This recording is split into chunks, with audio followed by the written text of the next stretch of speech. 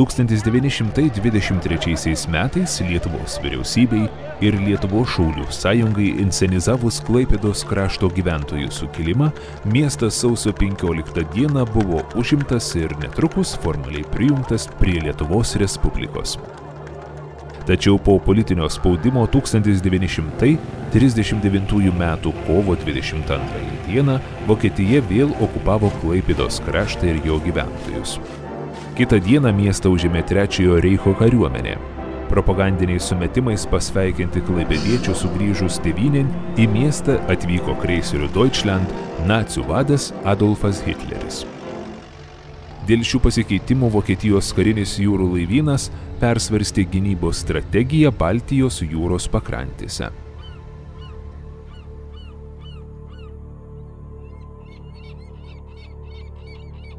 Iš karto dar tą patį mėnesį prasideda paruošiamieji pakrantės artilerijos baterijų ir priešlėktuvinių artilerijos baterijų statybos darbai. Yra gabenamos statybinės medžiagos, šios darbus atliko konkrečiai karinio jūrų laivyno kariškiai. Vėliau jau balandžio mėnesį prasideda pačios statybos, yra statomi laikinieji pakrantės artilerijos įtvirtinimai ir priešlėktuvinės baterijos. Jau gegužės mėnesį laikraštyje Memeler Dambot yra fiksuojama, kad laikinosios pakrantės artilerijos baterijos dalyvauja pratybose, atlieka šaudimus į jūrą. Na, vėliau iš karto šalia tų aikštelių buvo pas, prasidėjo didžiulės statybos, tie betoniniai tvirtinimai su visais bunkeriais, gyvenamom patalpom, šaudmenų sandėliais. Visas šitas kompleksas pasistatė iš karto už tų laikinų betoninių aikštelių ir viskas jau persikėlė čia. Mėmel Nord baterijoje buvo pastatyti du vienodi blokai, tarp jų baterijos ugnies kontrolės postas, amunicijos sandėlis ir elektrinė. Įrengta lengvoji priešlėktuvinė baterija, kuri buvo sudaryta iš kelių priešlėktuvinių pabūklų platformų, skirtų FLAG 30 pabūklams ir priešlėktuvinėms artilerijos komandinio posto. Šis kompleksas buvo sukurtas tiesiai už 1939 metais pastatytų laikinų pabūklų platformų. Mėmelsud baterijoje naujų statinių statybų nebuvo. Priešlėktuviniai pabūklai buvo pastatyti žemės grunto platformose. Įtvirtinimo visuma buvo papildyta priešturminiais apkasais bei spigliuotos vėlos užtvaromis. Vis dėlto Vokietija rimtai žiūrėjo ir, ir į priešlėktuvinę Klaipėdos gynybą, todėl aplink Klaipėdą atsirado ir šešios priešlėktuvinės baterijos. Taigi kartu be priešlėktuvinių šešių baterijų turime dar dvi pakrantės artilerijos baterijas, jos sudarė vadinamąjį pužėdį, kitaip sakant, iš visų miestų, iš Klaipėda yra labiausiai apsupta įtvirtinimais Lietuvoje. Daugiau Lietuvos Respublikos teritorijoje tokių miestų, kur būtų pastatytos vokiškos priešlėktuvinės ir pakrantės artilerijos baterijos, nėra. Šitie įtvirtinimai jie jau buvo rimtai pastatyti, bet kai juos pastatė, o pastatė pakankamai greitai, realiai tais pačiais 39 metais, tai paaiškėjo, kad reiškia pavojus jiems nėra. Nes jau 40 metais vokiečiai vykdė sėkmingą operaciją Norvegijoje ir Danijoje ir Britų laivynas, nuo kurio tie įtvirtinimai buvo pastatyti, neturėjo šansų įplaukti iš tos sąsiaurius, nuo to labiau gyvas likti išplaukti. Tai e, Baltijos jūra 41 e, metais sutriuškina visą e, Rusiją, reiškia suvaro jų visus laivus ten į Peterburgą, pastato tokią minų zoną, kur ten nelabai kas gali išplaukti, reiškia ten kas antras laivas tik išplaukia, povandeninis, tokia, tokia siena. Tai ten buvo pakankamai saugu. Tai jie tos įtvirtinimus, kadangi jie vis tiek buvo pastatyti, jie tas patrankas nuėmė, patrankas pervežė ten į šiaurį tą Atlanto sieną vadinamą. O čia reiškia, jiems vis tiek infrastruktūra yra, tai nusprendė, kad pagrindinis priešas yra lėktuvai. Tai dalis tų baterijų yra perdaryta į prieš lėktuvinės. Šita jūrinė baterija MML Nord taip pat buvo konvertuota į priešlėktuvinę bateriją. Tai reiškia, buvo pastatyti FLAG 40 pabūklai. Tai buvo patys, jo, buvo patys galingiausi tuo metiniai priešlėktuviniai pabūklai. Ir čia jų buvo keturi. Vieno iš jų vamzdis pas mus yra išlikęs, Viename baterijos Mėmel Nord bunkeryje pamainomis tarnavo apie šimtą žmonių. Apskritai visoji baterijoje apie 130 gal žmonių tarnavo. Na, kiek iš tikrųjų čia tarnavo tų žmonių, mes tokių duomenų kaip ir neturim, bet Pavyzdžiui, vien pagal patalpas galima atsekti yra keturi, vienam bunkerį keturi kareivių mėgamieji ir dar karininkų. Plus tai vienam mėgamajam apie 12 žmonių, tai 4 kart 12 ir plus karininkai, tai virš 50 žmonių vienam blokė. Plus yra kitas identiškas blokas. Na ir dar yra tolimatis ugnies kontrolės postas tarp šitų bunkerių, ten irgi apie 30 žmonių tarnauja. Na ir dar yra atsiminimai mūsų vieno čia tarnavusio buvusio kareivio Viktoro Saugos. Jisai, būdamas paauglys čia tarnavo, jis atsimena, kad prie vieno flak 40 pabūklo turėjo tarnauti 16 žmonių. Aptarnauti tą pabūklą turėjo. Kalbant apie Viktorą Saugą, tai čia irgi buvo toks, šioks toks mūsų informacinis šaltinis, mums labai pagelbėjęs apie kaip viskas atrodė, šiek tiek yra aprašyta jo knygoje, jis yra išleidęs savo knygą vokiečių kalba. Ir kad e, būtent šitos baterijos vadavietė buvo Labrenciškės dvare. Ir tie pabūklų kodai buvo gaunami iš ten. Ir va tas Viktoras Sauga turėjo per mišką kasdien keliauti tą Labrenciškės dvarą ir atnešti tos kodus. 1941 metai. Birželio 22 diena. Prasideda Vokietijos ir Tarybų sąjungos karinis konfliktas. Vokietijos kariuomenė taip pat ir iš Klaipėdos juda į rytus. Tuo tarpu Raudonoji armija suorganizavo atsakomą į smūgį. Šiomis dienomis buvo bombarduojama ir Klaipėda. Kaip sakė patys e, lėktuvų lakūnai savo karininkams, kad Memelis buvo nušluotas tiesiog nuo žemės paviršiaus, tačiau žinoma, iš tikrųjų miestas liko savo vietoje, bombardavimai buvo saliginai nedideli, o Vokietijos kariuomenė kuo tolyn juda į rytus, tuo sunkiau raudonoji armija ir joms karinėms oro pajėgoms pasiekti šias vietovės, todėl netrukus visi bombardavimai visiškai baigėsi. Realiai sakant, nuo 40 pirmųjų metų iki 44 vidurio Klaipėdos regione buvo visiškai ramu. Tačiau antrojo pasaulinio karo eiga vis dėlto privertė karinius veiksmus sugrįžti į šį regioną. Jau 44 metų spalį Raudonoji armija stovi prie Šiaulių. Spalio 5 dieną prasideda Raudonosios armijos pagrindinis puolimas, kurio tikslas yra užimti Klaipėdos miestą.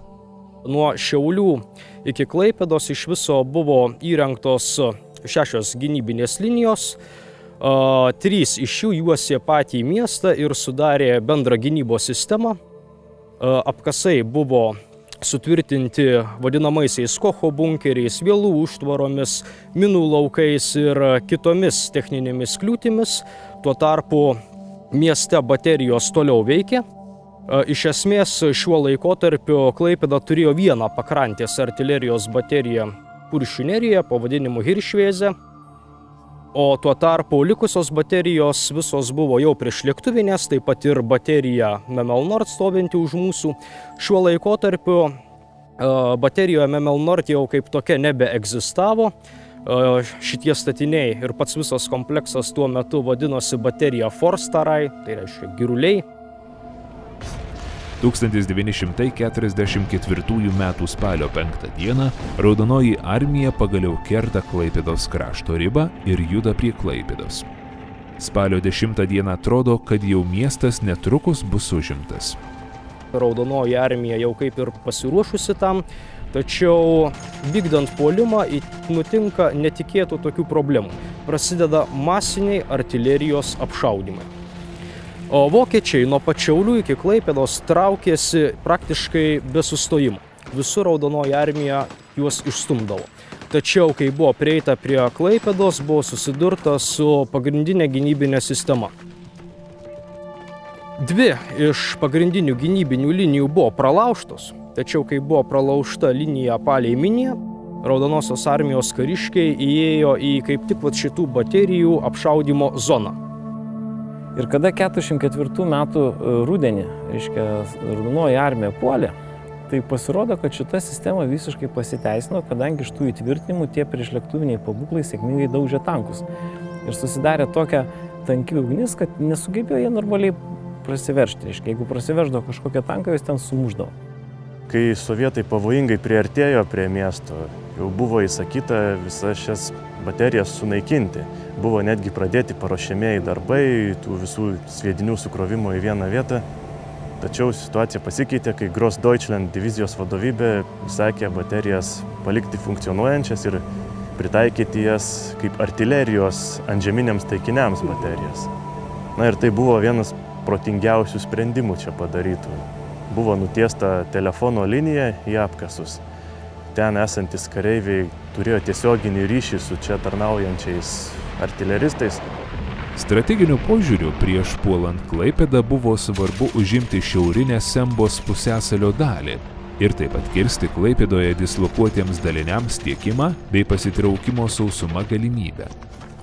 1945 m. sausio 13 d. prasideda masinis Raudonosios armijos polimas.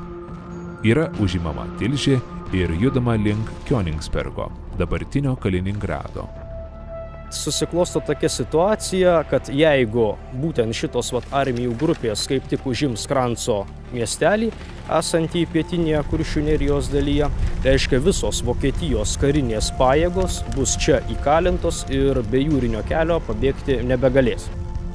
Vokiečiai tą situaciją labai gerai suprato ir jau sausio 25 dieną buvo duotas įsakymas Vokietijos kariuomeniai atsitraukti. Susirėmimai tomis dienomis vyko, tačiau jie jau nebebuvo tokie dideli kaip spalį.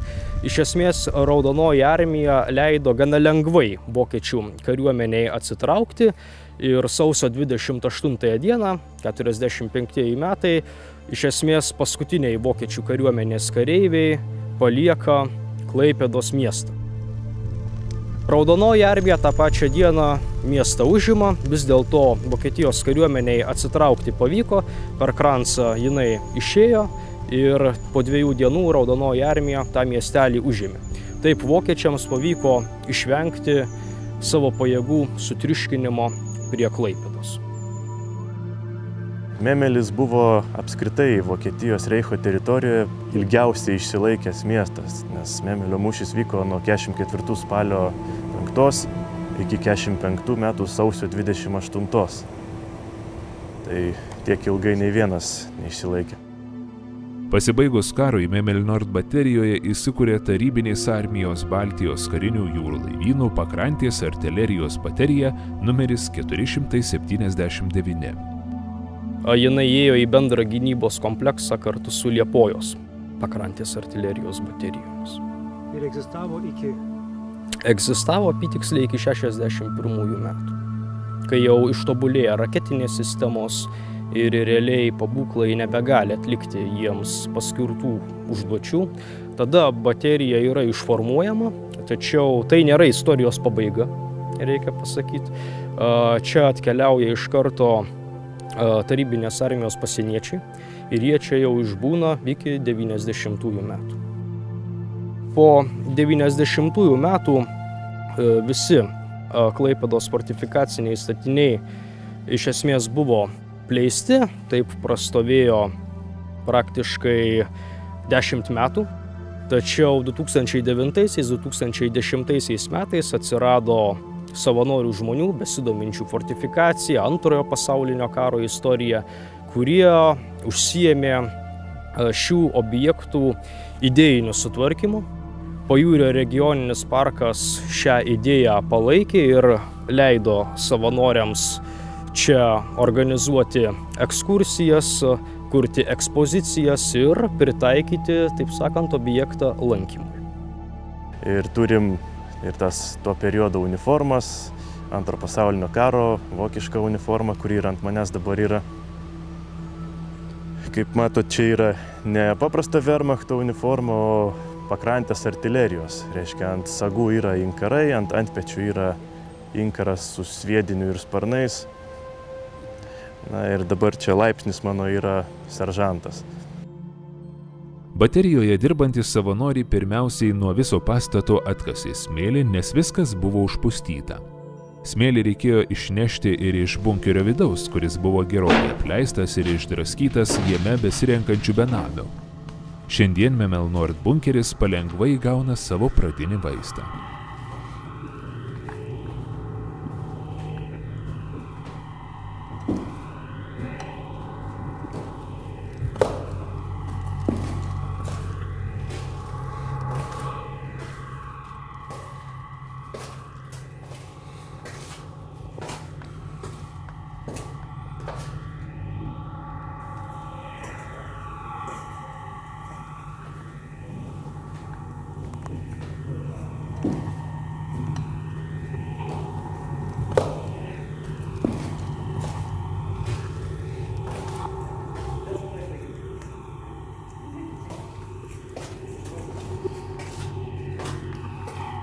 Šitoj patalpoj buvo vienas iš keturių kareivių miegamųjų. Aišku, dabar čia nelabai ką pasakysi, tačiau ant sienų yra išlikę lovų tvirtinimai. Va. Tai tokie metaliniai. Na, čia buvo triaukštės atlenkiamos lovos. Šitoj nuotraukui matom, kaip jos atrodė. Čia yra iš, iš kito bunkerio, kažkur iš Atlanto sienos. Standartinis projektas toks. Na ir tokias lovas mes dabar atkūrinėjom. Esam įpusėję, turim visus brėžinius detalius ir esam daug ką jau pasidarę. Čia išlikusios e, metalinės duris, tai būtent jos jau ribojo pereimą tarp darbinių patalpų ir būtinių patalpų, kur yra darbinės patalpos, šaudmenų sandėliai, sakant, sprogimo atveju, kad būtų apsaugotos kiek įmanoma būtinės patalpos. Kitur tarp patalpų būdavo gelžbetoninės duris, štai tokios, kurios iš pirmo žvilgsnio netgi gali pasirodyti kaip paprastos medinės duris, tačiau jos sveria, sveria apie 300 kg ir yra gelžbetoninės.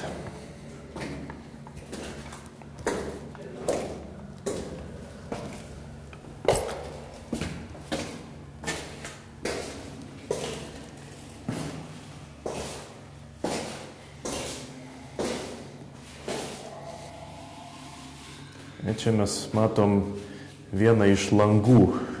Na, ant šito bunkerio buvo tokie langai. Ne visai kaip namuose, bet tokie tarsi šaudimo angos. Viduje buvo platus, išoriai siauri. Buvo metaliniai dangčiai. Na ir greičiausiai buvo padaryta kažkokia anga, prie kurios galima gal netgi ir kulkosvaidį pritvirtinti.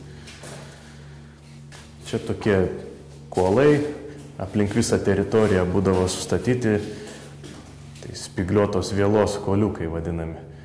Na ir turim spigliuotos vėlos fragmentą, kuri, galim, pačiupinėjus iškart matosi skirtumas nuo šio laikinės. Tai yra žymiai tankesnė, žymiai grubesnė. Į tokią, jeigu įsipainiosi, tai jau tikrai lengvai neišlysi.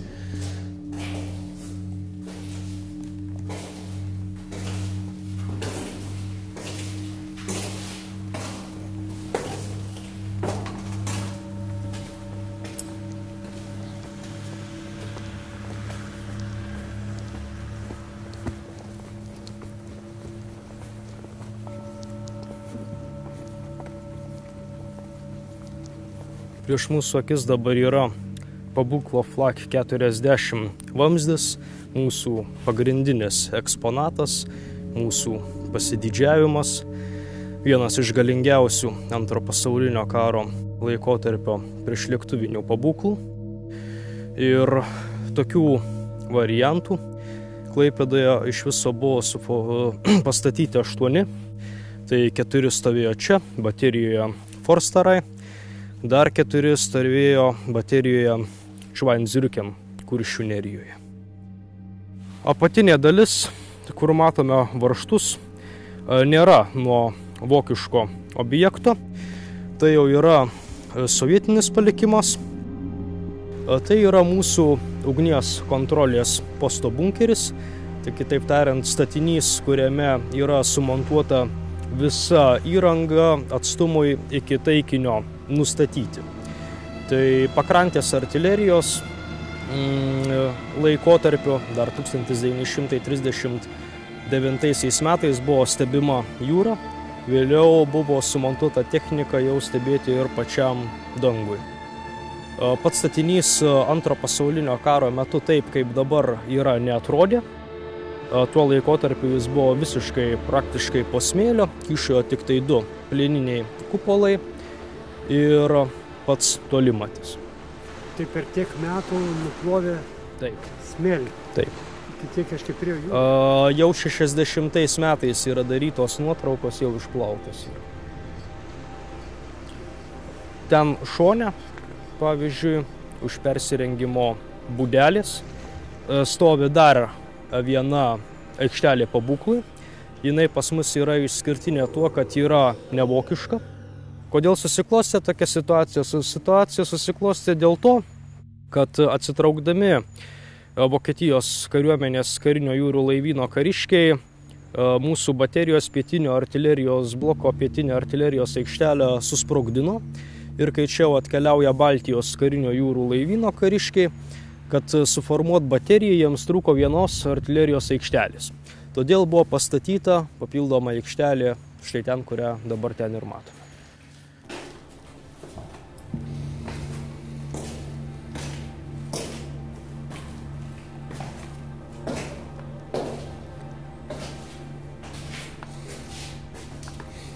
Na, šitoj patalpoje originaliai ir buvo šaudmenų sandėlis. Tai pas mus čia ir yra sprogmenų ekspozicija. Čia matom, kas liko iš pabūklo lafeto šitam kampe.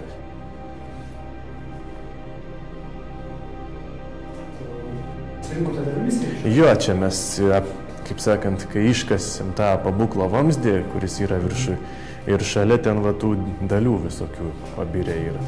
Tai čia kai kurios labai gerai identifikuojamos yra, pavyzdžiui, čia iškart matosi, kad lafeto kraštas yra. Paskui matosi, čia yra hidraulinis pakelėjas toksai, kuris irgi labai gerai matosi nuotraukose. Čia matom valdymo skidelis nuo komando Gerat aparato, tai būtent tolimačio tiems pabūklams. Jisai štai taip atrodė. Na ir žinoma, prieš lėktuviniai tie galingieji pabūklai, jie yra labai efektyvus ginklas, kol priešas nepriskrenda pavojingai per arti. Nes jeigu pikiruojantis bombonešiai priskrenda prie pabūklų, tai jau jie tampa bejėgiais. Tam yra skirti mažesnio kalibro greičiau šaudantis pabūklai, kad apsaugoti didžiosius. Tai vieno iš jų vamzdį mes irgi radom čia. Tai yra FLAG 29, Orlikonas vadinamas. Tai va čia Melnragės baterijų tarnavę Marinė Helferiai. Tai būtent iš Hitler Jugendo sudaryti iš nepilnamečių. Na ir mes manom, kad tokie tarnavo ir čia. Jų darbas buvo e, kurti laužus miške, kad nukreipti lėktuvų dėmesį, prožektorius operuoti arba kitokie pagalbiniai darbai. Vat vienas iš jų buvo pabūklo kodus atnešti. Vokietijos karinio jūrų laivyno kariškiai šiuose įtvirtinimuose gyveno kur kas geriau negu jų kolegos fronte. Čia buvo tiekiamas šiltas vanduo, šaltas vanduo, buvo oro ventiliacija, šildymas ir viskas, apie ką jų kolegos fronte iš abiejų pusių galėjo iš esmės tik tai pasvajoti. O ginklai buvo nevokiški. Su ginklais situacija nutiko tokia, kad didžioji dalis Vokietijoje pagamintų ginklų buvo gabenama į rytų frontą, tuo tarpu užnugaryje likę daliniai buvo apginkluoti ginklais iš anksčiau Vokietijos užimtų valstybių. Tai pavyzdžiui, šios baterijos kariškiai buvo apginkluoti prancūziškais Hočkiso kulkosvaidžiais, taip pat itališkais karabinais Karkan. Ten kas yra per patalpas? Čia yra pabūklo žiedas jų.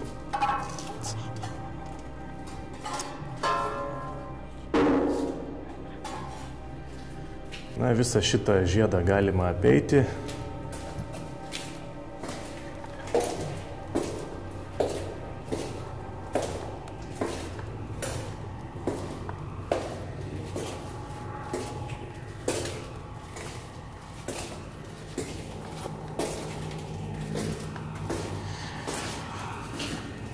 Čia yra laipteliai, išlikę originalūs ir būtent čia buvo išėjimas į pabūklo aikštelę. Tai vad, kur matom, paskutinis laiptelis baigėsi, čia jau turėtų būti išėjimas, bet sovietmečiu buvo pribetonuotas tas toksai gabalas ir padarytas jau kaip liukas. Tačiau originaliai čia ne liukas turėjo būti, o čia dar ant sienos šiek tiek matosi žymės, kad čia turėjo būti kampu tokios durys.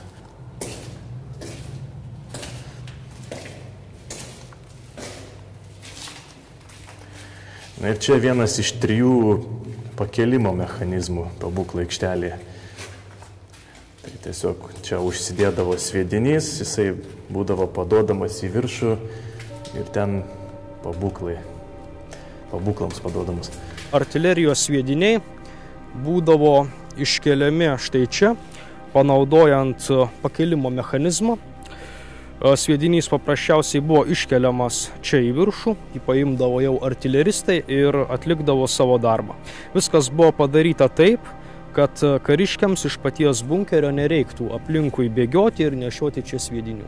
Viskas buvo paprasta, bet kartu ir modernu. Ten vienoj patalpoje sviedinių sandėlis, o šitoj patalpoje sprogdiklių sandėlis. Šie dalykai buvo laikomi atskirai saugumo sumetimais. Žinoma, tie pakelimo mechanizmai operavo tik tai tada, kai čia buvo jūrinė baterija. O kai buvo konvertuota į priešlėktuvinę, tai matėm, kokie dideli yra tie sviediniai su gilzėm, tai jau jų čia neįtalpinsi į šitą. Taip, padavimas vyko rankiniu būdu jau tada tiesiog. Na ir toliau ten vanduo.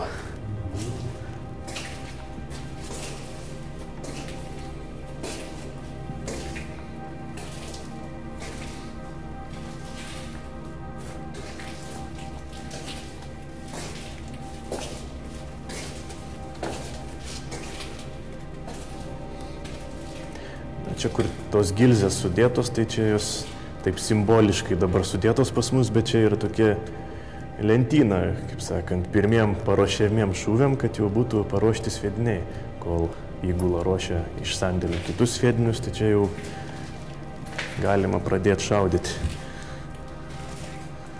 Čia matom durų vyriai išlikę, tai būtent čia Būtent čia turėjo būti tos metalinės duris, kurias prieš tai matėm. Jeigu va, yra norinčių, galit kas nors ateiti ir padėti jas atitempti iki čia.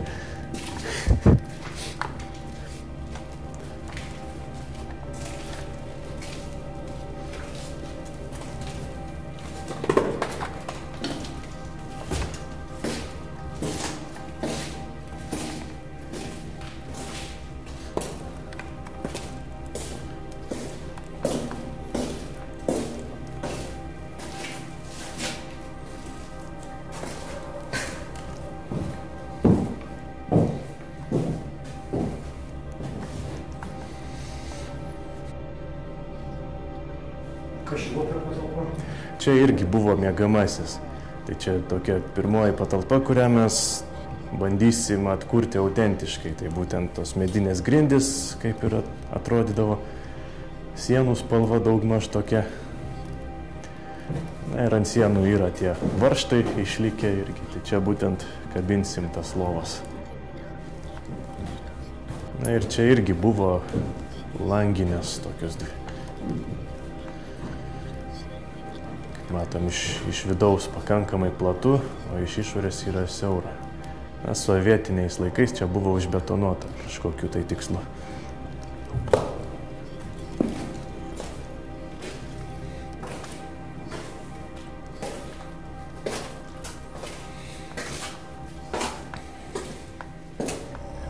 Na, toliau ten jau yra analogiška viskas, tik tai dabar ten uždaryta.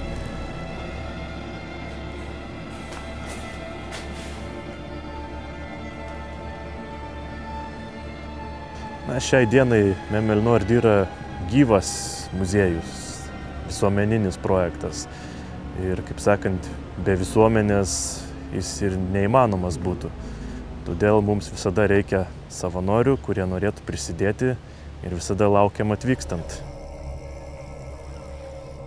1939 metais Klaipėdos krašte pastatyta artilerijos baterija Memel Nord yra vienas iš unikalių faktų vokiečių fortifikacijos istorijoje. Ji liko beveik nepažeista per karinius veiksmus bei vėlesniais metais, todėl neblogai išliko ir yra reikšmingas šiandienos fortifikacijos paminklas.